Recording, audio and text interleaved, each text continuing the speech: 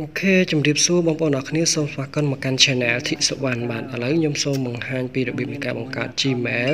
ក៏ដូចជា account Play Store ដើម្បីយកបង្កើត Facebook មកក្នុងពេលតែមួយសម្រាប់បងប្អូនដែលគាត់ទិញទិញទូរស័ព្ទថ្មីគាត់អត់ចេះបង្កើតអញ្ចឹងណាហើយអត់បានចូលជាមួយនឹងហាងអីចឹងដោយសារកំងអញ្ចឹងយើងចូលនៅក្នុង Play Store បាទយើងបើកជាមួយនឹង Play Store មកបាទ ចឹងគឺវាចេញបែបនេះណាបាទហើយគឺរងចាំបន្តិចបាទគឺរងចាំបន្តិចរហូតដល់វាដំណើរការបាទបាទអញ្ចឹងគឺវាចេញបែបនេះគឺយើងចុចពាក្យកន្លែង create account ហើយយើងចុចកន្លែងយក myself ហើយយើងដាក់បង្កើតជាមួយដាក់ឈ្មោះយើងមកបាទគឺបែបនេះណាបាទដូចខ្ញុំបាទគឺខ្ញុំដាក់ឈ្មោះខ្ញុំផ្ទាល់តែម្ដងអញ្ចឹងណាបាទអញ្ចឹងចុចអូខេបាទបងប្អូនដែលគាត់អាចថាគាត់ អ្នកខ្លះគាត់អត់ដាក់ពិតទេប៉ុន្តែបើសិនជាគាត់អាចថាចាំកុំឲ្យវាមានបញ្ហាពេលនេះគាត់អាច confirm មកវិញបានពេលវាអាចថាគាត់ភ្លេច password អីចឹងណាបាទហើយនៅក្នុងនោះវាឲ្យយើងរើសជាមួយនឹងយើងអាចទៅសេជាមួយនឹងបាទ account Gmail ហ្នឹងធ្វើម៉េចឲ្យយើងងាយស្រួលចាំឬក៏ស្រឡាញ់ខ្លួនឯងបាទគិតមកហើយយើងរើសដាក់ជាមួយនឹងងាយស្រួលចាំបាទយើងដាក់ខ្លួនឯងទៅបាទឯងផ្ទាល់តែម្ដងណាបាទបាន account បាត់ហើយបាទអញ្ចឹងគឺ ដាក់ password បែបហ្នឹងមកបាទបងប្អូនអរគ្នា password គឺយើងត្រូវចាំខ្លួនឯងអញ្ចឹងណាបាទងាយស្រួលនៃការបាទ hello វាមានបញ្ហាយើង confirm យកមកប្រើវិញបានអូខេបានជាមួយនឹង account បាត់ហើយ policy វានៅក្នុងហ្នឹងហើយយើងចុចនេះទៅបាទចឹងងាយស្រួលមែនតើណាយើងអាចចូលជាមួយនឹង account Play Store យើងបាននិយាយរួមគឺបងអាចបង្កើតជាមួយនឹង account Play Store យើងអាចប្រើជាមួយនឹង product របស់ Google បានជា Play Store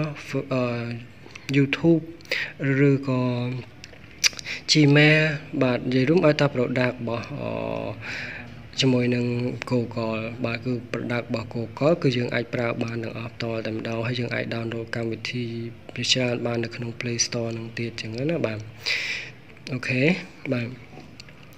មាន product ច្រើនរបស់ Google មាន driver មាន photo បាទឥឡូវខ្ញុំធ្វើការ download ជាមួយនឹង Facebook បាទ បាទ download ជាមួយនឹង Facebook យើង download ឲ្យហើយមកពេលដែលយើងបង្កើតបានគឺ download Facebook download ជាមួយនឹង Messenger អីផ្សេងផ្សេងកម្មវិធីដែលយើងចង់បាននឹងយើង download មកឲ្យហើយមកណាបាទគឺងាយស្រួលមែនតែននេះគឺជា Gmail បាទ product របស់ Google បាទអញ្ចឹងគឺយើងអាចប្រើបាននៅនឹងពេលដែលយើង confirm ជាមួយនឹង Facebook អញ្ចឹងណាបាទអឺ ក៏ក៏ YouTube បាទយើងអាចបង្កើតជាមួយនឹង channel យើងបាននៅក្នុងនឹងបានបាទអាចបង្កើត channel យើងបានយើងងាយស្រួលในការប្រើបាទអញ្ចឹងយើងចុចកន្លែង channel យើងមកយក channel មកយើងក៏អាចបង្កើត account យើងបានយើងអាចដាក់ឈ្មោះដាក់អីផ្សេងផ្សេងទៀតបានអញ្ចឹងណាបាទតែខ្ញុំខ្ញុំដាក់ឈ្មោះនឹងសិនទៅបាទអូខេ គឺបែបហ្នឹងងាយងាយមែនតែនសម្រាប់អ្នកដែលគាត់ទំទិញទូរស័ព្ទថ្មី បាទគាត់អត់ចេះបង្កើតណាបាទគាត់អាចមើលបានអញ្ចឹងណាបាទងាយស្រួលមែនតែនបាទឥឡូវចិត្តពេញហើយបាទរងចាំបន្តិចទៅ គឺបើពេលពេញខ្ញុំនឹងប្រាប់ពីវិធីបង្កើតជាមួយនឹង Facebook បាទបាទOK អញ្ចឹងយើងបើកមកបាទ OK បាទអញ្ចឹងពេលបើកពេលពេញគឺយើងបើកវាប្រើអញ្ចឹងតតែម្ដងណាអញ្ចឹងរងចាំវាបន្តិចទៅដោយសារទឹមតាដំឡើងអញ្ចឹងជាមួយនឹងម៉ាស៊ីនដែលទឹមតាឡើងវារៀងធ្វើការ install បើកមុនដំបូងតិចចឹងឯងណាបាទ OK ហ្នឹងហើយអញ្ចឹងគឺចូលពេលនេះគឺវាចូលបែបនេះបាទអញ្ចឹងគឺយើងចូល create add new Facebook account មកបាទហើយចុច next មកបាទ ចុចតាមនឹងឲ្យអស់មកបាទហ្នឹងហើយហើយគឺយើងដាក់ឈ្មោះគឺយើងដាក់ឈ្មោះដូច Gmail ដែលយើងបង្កើតមិញទៅបើបើខុសខុសបន្តិចតួចបានហើយបើយើងដាក់ខុសខ្លាំងអាចថា Facebook វាថា fake account វាអាច block យើងបានអញ្ចឹងយើងបង្កើតអត់បានទេអញ្ចឹងខ្ញុំដាក់ឈ្មោះ T7 ថានឹងទៅរឿងថ្ងៃខែឆ្នាំកណ្ដោតបាទឲ្យយើងចាំខ្លួនឯងទៅជីវិញពេលដែលវាមានបញ្ហាគឺវាយើងអាចថា confirm អីតាមនឹងបានទៀតបាទ នឹងហើយជាវាពេលដែលវាមានបញ្ហាគេបិទអីចឹងទៅយើងអាចយកមកប្រើវិញបានអាចធ្វើការ confirm អីតាមនឹងបានទៀតចឹងណាបាទងាយស្រួលមែនតែនណាបាទបងប្អូនហើយដាក់ជាមួយនឹង password បាទ password ឲ្យចាំគ្នាបាន sign up